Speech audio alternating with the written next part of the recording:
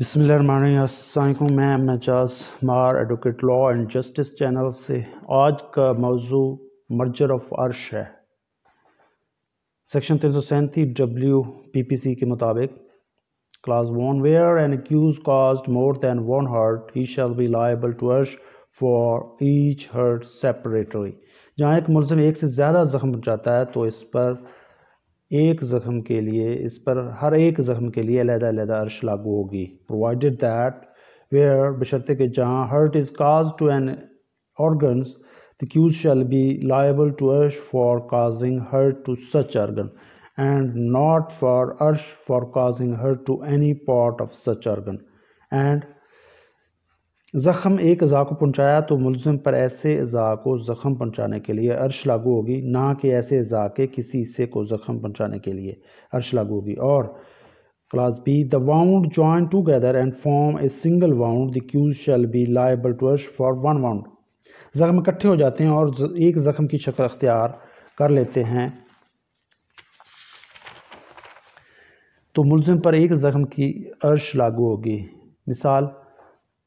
Illustration A twice stab Z on his thigh. Both the wounds are so close to each other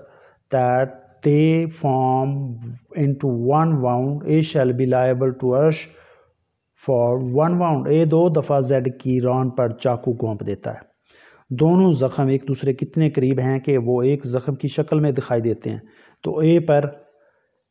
ایک زخم کے لیے عرش لاگو ہوگی class two where offender causing hurt to a person the where after causing hurt to a person the offender causes death of such person by committing qatl liable to diyat or shall merge into such diyat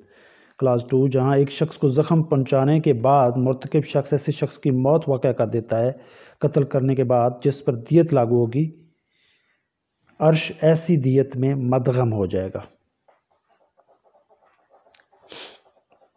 یعنی بندہ اگر مر جاتا ہے اس زخم کے نتیجے میں تو اس پر عرش لاگو نہیں ہوگی بلکہ دیت لاگو ہوگی۔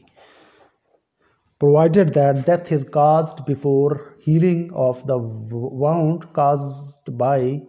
such hurt بشرطے کے موت اس طرح کے زخم کے بھرنے سے پہلے واقع ہو جاتی ہے۔ تھینک یو اللہ حافظ. فیما